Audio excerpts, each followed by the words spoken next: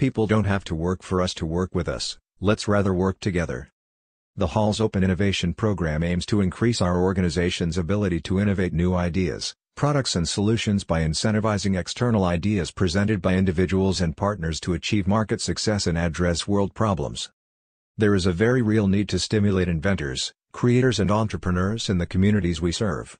With open innovation, history has proven the successful social and economic development of cities, towns and countries that stimulate and reward knowledgeable and skillful individuals or companies seeking to challenge the status quo, improve efficiencies and further the development of solutions to the world market.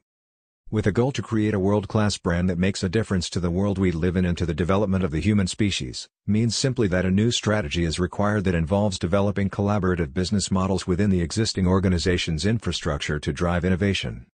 The program must provide a sustainable reward system that pays permanent royalties as passive income to innovators linked to the revenue generated by that product/service. By continually contributing products/services to their basket, innovators can grow passive income as a secondary or primary source of income and thus stimulating the economy by sharing the resources created jointly.